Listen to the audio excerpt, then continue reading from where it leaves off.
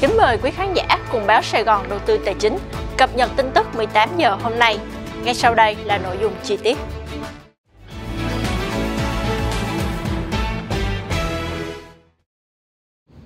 Theo Trung tâm Dự báo Khí tượng Thủy văn Quốc gia, bão Jinsin hiện đang ở vùng biển phía đông bắc đảo Luzon, Philippines. Sức gió mạnh nhất vùng gần tâm bão mạnh cấp 15, 167 đến 183 km/h, giật trên cấp 17, di chuyển theo hướng Tây Tây Bắc với tốc độ 5 đến 10 km/h. Theo dự báo, khoảng 1 giờ ngày 8 tháng 11, vị trí tâm bão ở vào khoảng 18,7 độ Vĩ Bắc, 120,8 độ Kinh Đông, trên vùng biển phía đông bắc đảo Luzon. Sức gió mạnh nhất vùng gần tâm bão mạnh cấp 14, 167 đến 183 km/h, giật cấp 17. Di chuyển theo hướng Tây Tây Bắc, tốc độ 5 đến 10 km/h. Vùng biển phía đông, khu vực Bắc Biển Đông gió mạnh cấp 6 đến cấp 7. Từ đêm ngày 7 tháng 11 tăng lên cấp 8 đến cấp 10. Vùng gần tâm bão đi qua cấp 11 đến cấp 13, giật cấp 16. Sóng biển cao 4 đến 6 mét. Vùng gần tâm 6 đến 8 mét. Biển động dữ dội. Tàu thuyền hoạt động trong các vùng nguy hiểm nói trên đều có khả năng chịu tác động của dông, lốc, gió mạnh và sóng lớn. Trên đất liền, khu vực từ Quảng Ngãi đến Ninh Thuận có mưa vừa, mưa to, cục bộ có nơi mưa rất to với lượng mưa từ 20 đến 40 mm. Cục bộ có nơi trên 100 mm. Từ đêm nay, ngày 7 tháng 11, mưa lớn có xu hướng giảm dần. Ngoài ra, chiều tối và đêm ngày 7 tháng 11, khu vực Hà Tĩnh đến Quảng Nam, Bình Thuận, Tây Nguyên và Nam Bộ có mưa rào và dông rải rác. Cục bộ có nơi trên 70 mm. Trong mưa dông có khả năng xảy ra lốc, xét và gió giật mạnh.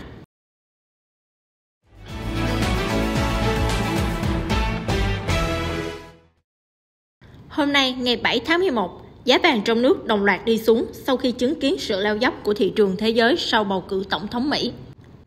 Từ sáng, các nhà vàng liên tục điều chỉnh giảm giá vàng nhẫn. Trong vòng 2 tiếng sau khi mở cửa, mỗi lượng nhẫn trơn tại một số thương hiệu hạ tới 4,6 triệu đồng. Trong khi đó, chiều bán ra giảm chậm hơn khiến chênh lệch giá mua và giá bán được nới rộng gần 2 triệu đồng.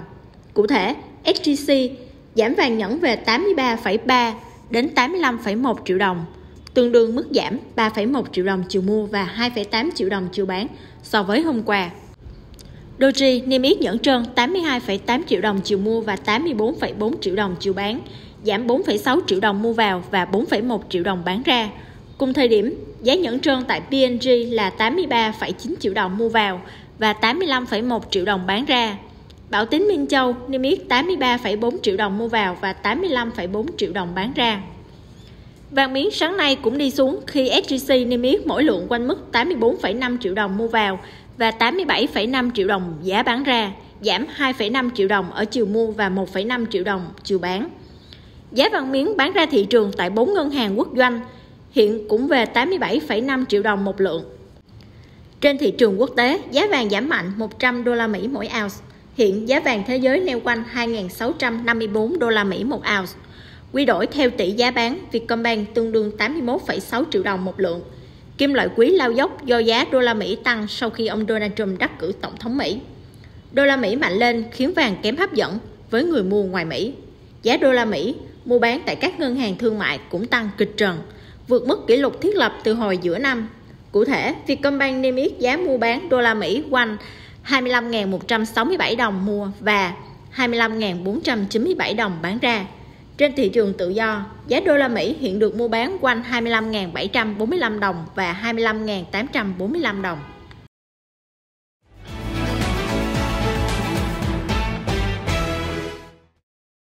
Chủ tịch Ủy ban nhân thành phố Hồ Chí Minh Phan Văn Mãi vừa có chỉ đạo về việc thực hiện nghiêm các quy định về quản lý và xét duyệt cán bộ, công chức, viên chức và người lao động, gọi chung là cán bộ đi nước ngoài. Cụ thể, Chủ tịch Ủy ban nhân thành phố Hồ Chí Minh yêu cầu thủ trưởng cơ quan đơn vị không xét duyệt hoặc đề xuất cấp có thẩm quyền xét duyệt đối với các trường hợp đi nước ngoài do các doanh nghiệp tổ chức và đài thọ hoặc do các doanh nghiệp nước ngoài mời đích danh. Trường hợp cần thiết, cán bộ phải có mặt trong chuyến đi do thực hiện theo hợp đồng, dự án đã được ký kết với đối tác thì phải cung cấp đầy đủ, minh bạch về nguồn kinh phí của chuyến đi, trình cấp có thẩm quyền xem xét, quyết định. Thủ trưởng cơ quan, đơn vị kịp thời quán triệt, thường xuyên phổ biến các quy định về xuất cảnh, nhập cảnh, quy định về quản lý, xét duyệt đi nước ngoài của Ban Thường vụ Thành ủy Thành phố Hồ Chí Minh. Ủy ban nhân dân thành phố Hồ Chí Minh đến đoàn thể cán bộ, đồng thời chịu trách nhiệm rà soát, quản lý chặt chẽ đội ngũ cán bộ đi nước ngoài, kịp thời phát hiện, xử lý nghiêm các tổ chức cá nhân thực hiện không đúng quy định về quản lý và xét duyệt đi nước ngoài.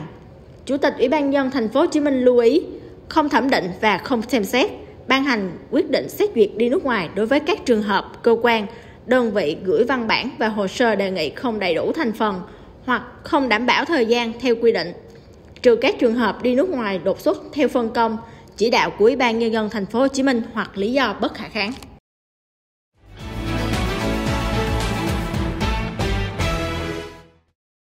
Công tố viên đặc biệt Jack Smith được cho là đang xem xét hủy hai vụ truy tố cấp liên bang đối với ông Donald Trump vì Bộ Tư pháp có chính sách không truy tố Tổng thống đương nhiệm. Hãng tin AP và hàng loạt hãng khác như ABC, New York Times, Fox về vụ việc này. Theo đó, hiện đang có những cuộc thảo luận tích cực giữa các lãnh đạo Bộ Tư pháp và công tố viên đặc biệt Jack Smith về cách kết thúc tốt nhất hai vụ truy tố nhằm vào Tổng thống đắc cử Donald Trump. Động thái này phù hợp với chính sách lâu đời của Bộ Tư pháp Mỹ là không truy tố các tổng thống đương nhiệm. Công tố viên đặc biệt Smith được Bộ trưởng Tư pháp Mỹ Merrick Garland bổ nhiệm hồi tháng 11 năm 2022 để dẫn dắt hai cuộc điều tra cấp liên bang nhằm vào ông Trump liên quan cáo buộc âm mưu lật kèo bầu cử năm 2020 và giữ trái phép tài liệu mật. Ông Trump nhiều lần chỉ trích đây là những cuộc săn phù thủy nhằm vào ông. Trong cuộc điều tra đầu tiên, vào tháng 8 năm 2023, ông Smith đã đưa ra cáo trạng gồm 4 tội danh. Tòa án tối cao Mỹ tháng 7 cho rằng ông Trump được hưởng quyền miễn trừ với hành động công vụ khi đương chức. Công tố viên Smith sau đó điều chỉnh cáo trạng, thu hẹp nội dung cáo buộc để phù hợp với phán quyết của tòa án tối cao. Cuộc điều tra thứ hai liên quan đến các tài liệu của chính phủ mà Cục Điều tra Liên bang Mỹ FBI thu giữ khi khám xét tại dinh thự Mar-a-Lago của ông Trump ở bang Florida hồi tháng 8 năm 2022. Trump bị truy tố vào tháng 6 năm 2023 với 40 cáo buộc.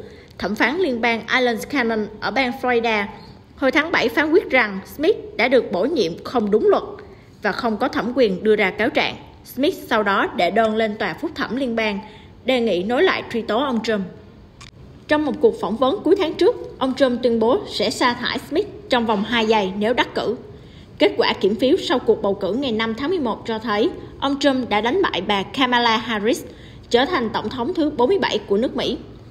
Ngoài các vụ truy tố cấp liên bang, ông Trump còn vướng vào những rắc rối pháp lý cấp bang Ông hồi tháng 5 bị tuyên có tội với toàn bộ 34 tội danh trong vụ truy tố làm giả hồ sơ kinh doanh để chi tiền bịt miệng sau khiêu dâm Stormy Daniel nhằm ém thông tin bất lợi trước thềm bầu cử tổng thống năm 2016. Phiên tòa tuyên án dự kiến diễn ra vào ngày 26 tháng 11 sau hai lần trì hoãn. Ông Trump và loạt đồng minh cũng bị cáo buộc tìm cách lật kèo kết quả bầu cử ở Georgia sau khi đã thua trước đối thủ Joe Biden năm 2020. Ông Trump phủ nhận cáo buộc và không nhận tội.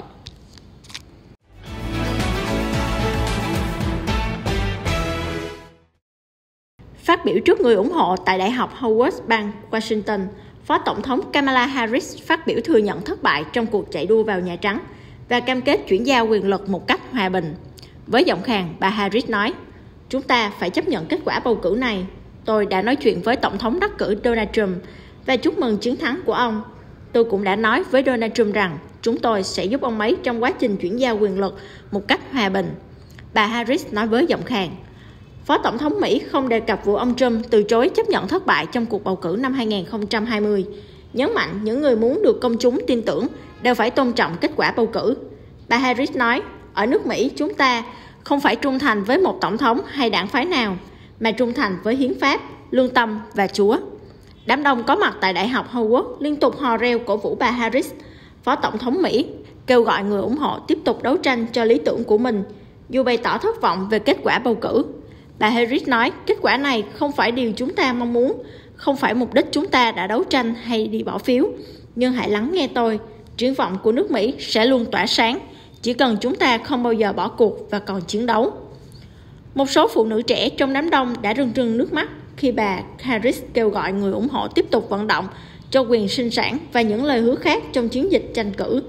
Bà Harris nói với người ủng hộ, đối với những thanh niên đang theo dõi, các bạn cảm thấy buồn bã và thất vọng là chuyện bình thường nhưng hãy tin rằng mọi chuyện sẽ ổn thôi đừng bao giờ bỏ cuộc đừng bao giờ ngừng cố gắng đưa thế giới thành nơi tốt đẹp hơn Đây là thời điểm để tiếp tục hành động vì tự do, công lý và tương lai mà tất cả chúng ta đều biết rằng có thể cùng nhau xây dựng. Bà Harris khẳng định, tôi sẽ không bao giờ từ bỏ cuộc đấu tranh vì trong tương lai mà người Mỹ có thể theo đuổi ước mơ, hoài bão và khát vọng. Phụ nữ Mỹ có quyền tự do quyết định thân thể và không bị chính phủ yêu cầu họ phải làm gì. Chúng tôi sẽ không bao giờ từ bỏ cuộc chiến bảo vệ trường học và đường phố khỏi bạo lực súng đạn.